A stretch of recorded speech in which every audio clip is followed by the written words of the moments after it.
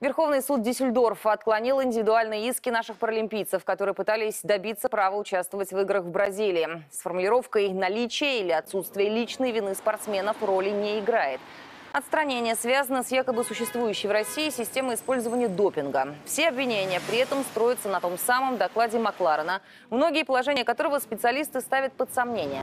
Иски подавали 94 наших атлета. Сначала в суд Бонна, где находится штаб-квартира Паралимпийского комитета, а после отклонения в вышестоящую инстанцию в Дюссельдорфе. Сейчас спортсмены готовят обращение в Конституционный суд Германии.